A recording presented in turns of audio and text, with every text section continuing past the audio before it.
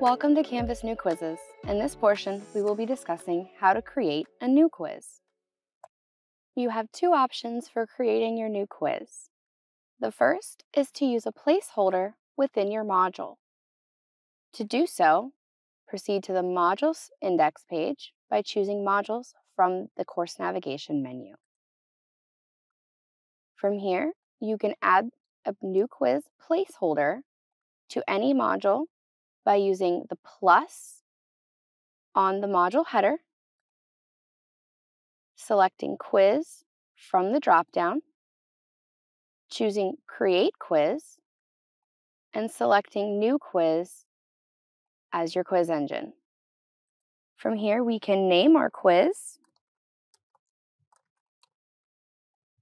assign it to an assignment group or a category in Blackboard, and add the item. This quiz is simply a placeholder. In order to add questions and other necessary material, we would need to edit the quiz. We'll talk more about that in just a moment. The other option for creating a new quiz is to use the Quizzes index by selecting Quizzes from your course navigation menu. From here, we would add a new quiz by choosing Plus Quiz.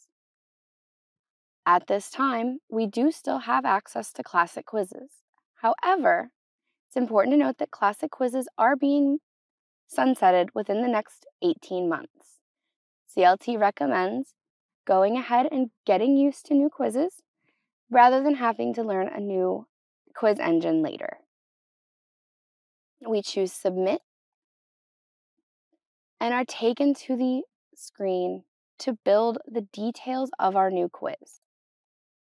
Note that if you create it as a placeholder within the module, clicking on the quiz will give you the same screen. Let's go ahead and put in the details for our quiz. We begin by giving our assignment a name. This should match whatever you have communicated to your students. It's important to note that anything that is an assessment that we traditionally think of, whether it be a quiz, test, exam, etc., is called a quiz in Canvas. From here, we can identify how many points the item is worth, assign it to an assignment group, decide how we want those displayed to students as a percentage, points, letter grade, or the traditional GPA scale, much like the options we had with Blackboard. It is important to note that if you choose complete slash incomplete, it will give students the equivalent of a 100 for simply turning in the assignment. You do have the option to grade anonymously so that you cannot see student names as you're scoring.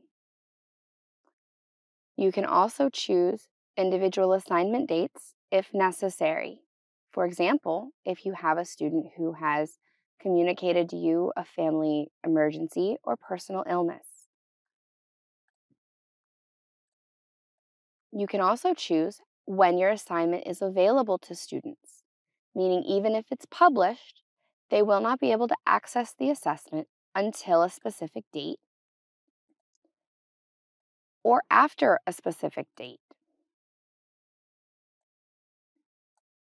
Once you have determined all of these settings, click Build. You do have the option for additional settings using the Settings tab within the Build menu. From here, you can choose to shuffle all of the questions into a random order. You can also choose to shuffle all of the answer choices within those questions. You have the option to make it to where students see one question at a time. And to determine if you do that, whether you want them to be able to go back to previous questions. Much like Blackboard, we do have the ability to require a student access code if you choose to give them a specific access code. For example, when they come to take an assessment live in your class, or if you want to make it available at a specific time you want to give them that code. You can impose a time limit on students. We do not recommend using the filter IP addresses option at this time. You do have the option to allow students a calculator. Please note that it is just either a basic four function or scientific option. You can determine whether students are allowed multiple attempts or not, and which score of those multiple attempts will be kept. For example, you could choose the highest, the latest, the average, or the first. You can determine how many attempts students are allowed by changing it to limited and setting the number of attempts you're willing to give them. One of the best new features about new quizzes is the ability to require time between those attempts, much like a cool down period. This helps keep students from rapid fire taking the assessment to try to improve their score without doing any sort of studying or remediation. In order to determine what students can see once they have submitted the assessment, you have the ability to restrict student view. If all you want students to see is that they have submitted successfully, you should toggle the restrict student result view to green and leave all the other options unchecked. If you want students to be able to see more information, you have options down below for how many points a student earned, how many the questions were worth, and if you want them to see specific items and questions, whether you want them to be allowed to see their own responses and any specific item feedback. If you do allow students to see their responses, you have the option of whether you want them to know if their answer was correct or incorrect. And if they can see whether theirs is correct or incorrect, you have the option to show them the correct answer as well. These are all personal choices and may differ for you from assessment to assessment.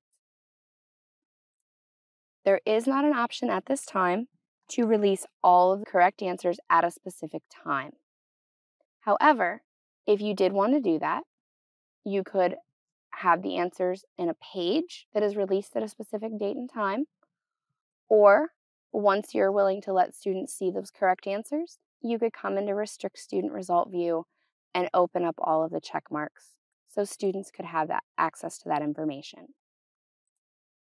Another added benefit of using new quizzes is the Moderate tab up at the top on the Build menu. The Moderate tab allows us to see multiple attempts from students and specific logs as to how they chose their answers. I can get a quick view of their scores as well as how long they took on the assessment. However, one of the best tools about the Moderate tab is the ability to provide accommodations for students in accordance with the documentation provided from the Office of Educational Accessibility. For example, if my student Emily has provided me a copy of that documentation letter stating that she receives double time on her assessments, I can use the accommodations pencil to provide her a time multiplier of twice the allotted time, as we can see on these students. I also have the ability to remove the time limit if that's something that's been communicated between faculty and student or as part of their documentation. You do have the ability to give a flat additional time period, such as 30 minutes or an hour, for example, if a student requires it, or if you have communicated something with that student. Another handy tool is the moderate buttons out to the right. For example, if Emily had contacted me and said that she had gotten kicked out of her assessment, I have the ability using the moderate tab to give her an additional attempt or to give her an additional time on the attempt. This is very handy in cases of inclement weather, internet outages, etc. Please note, using the Moderate tab is a one off for one assessment, for one student, for one unique case. The accommodations section will keep those accommodations for every new quiz assessment you give within your course. This is very handy as it means you don't have to try to set those individual time limits for students and you don't have to worry about forgetting during busier parts of the semester. Any other new quiz assessment I give in this course, these students will automatically have those accommodations on any time I use a new quiz. Thank you for watching. For more information, please visit clt.odu.edu.